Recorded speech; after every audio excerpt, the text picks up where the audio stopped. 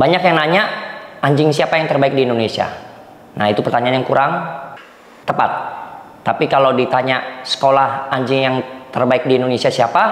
Nah, kita bahas. Satu, kurikulum.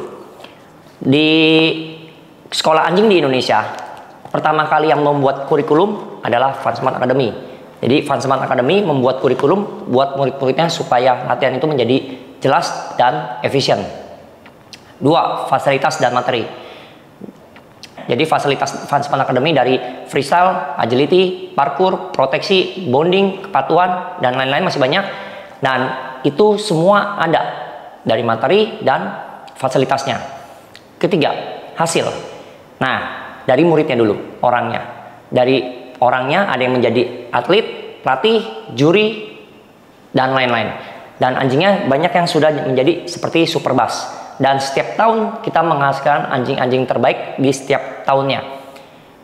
Nah, itulah pertanyaan sekolah yang baik.